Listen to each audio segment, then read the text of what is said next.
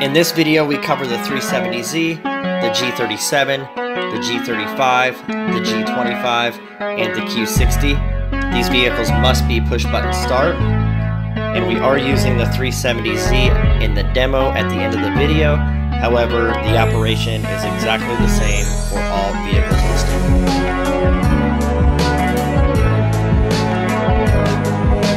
We're going to go ahead and jump in. There's two things that we need to remove. One is the sill plate right here, and you simply grab it at the back and you just pull straight up. Like it literally just pops right up. Set this aside. The next panel we remove is the passenger kick panel. There's a plastic nut up here that you have to remove in order to get this piece off. So go ahead and just simply unscrew it and it will pop right off. Once that plastic nut is off, go ahead and grab it down here and you're gonna pop it right off. You'll see that the push clips, there's two of them that go into the body. These might get stuck, so you might need a panel popper to kind of put some leverage on it. One of our new 3HT plug and play kits. There are no wires to cut or splice in the vehicle whatsoever. And this is not a two-stage programming uh, kit, which means you install this in the car, program the module to the vehicle, which takes about 15 seconds, and your remote start will work immediately. These are the BCM connectors. There's a green one, a black one. There's a gray connector here. This right here will go into this connector on the harness if required.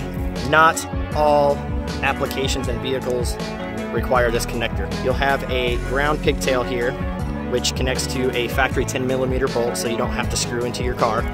There's gonna be a couple two pin jumpers here um, refer to the installation guide for uh, proper connection there. We have a relay chip with a fuse in it, and this will plug right into there. All this is in the installation guide. I'm just going over uh, some quick details for it. The BCM is located down in the passenger kick panel. You're gonna use the black connector, which is right here, and you're gonna use the green connector, which is back here. So go ahead and unplug these two connectors. And once you have them unplugged, go ahead and connect them to our T-harness. So it's gonna look just like this. The remaining ends of our T-harness are going to plug right back into the BCM. So just go ahead and fold it over and you're gonna plug it straight back in.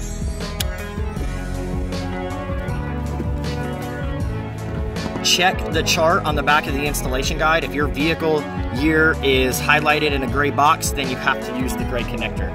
This plugs in right here at the BCM as well. So how this works is you're gonna take the two pin jumper here, you're gonna disconnect the one that was on the harness, you're gonna plug this one in, and then install this right here at the BCM just like um, we did with the green and the black one.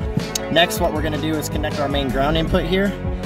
There's a 10 millimeter bolt, so go ahead and grab your 10 millimeter socket. You simply take the bolt out, put the ring terminal on, and tighten it back up. The last thing that we need to do is take the relay chip with a fuse on it that looks like this, and you're gonna plug it right into the harness and make sure it clicks in place. And you are now ready to program the module.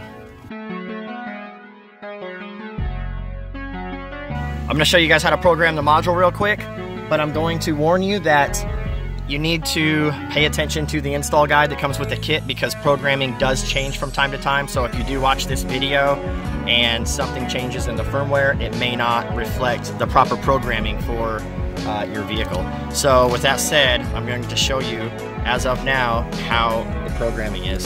So what you need to do is you're gonna push the unlock button on the key fob the light on the module will start flashing orange.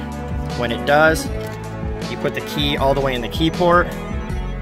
You press the brake for about 15 seconds or until the green light turns solid on the module and then turns off. It usually takes about 5 to 10 seconds, could take up to 15. There we go, it's green, it's off. Release the brake, pull the key out, and now we're gonna go ahead and jump out of the car and give you a demo. So the Z's all finished up. I'm gonna give you a quick demo here uh, from the factory key fob. This kit is compatible with our smartphone module, which will give you unlimited range. It will lock the doors, unlock the doors, start the car, stop the car, and give you GPS location uh, in real time. So on this one, um, we're gonna give you a demo on the factory key fob and you simply hit lock three times. So you hit one, two, three. The parking lights will come on for a visual confirmation. You're gonna give it a second, ignition fuel pump turns on, and there we go. When you're ready to leave, simply tap the unlock button and you can get in the car.